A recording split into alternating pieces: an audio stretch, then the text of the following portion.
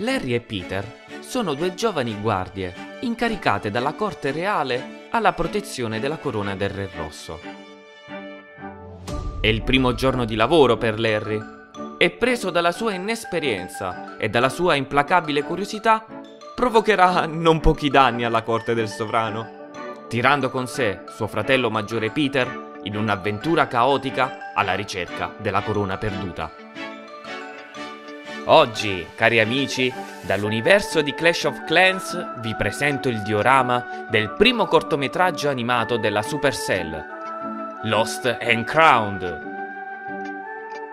Ciao a tutti ragazzi, io sono Clay e questo è un mio nuovo video tutorial.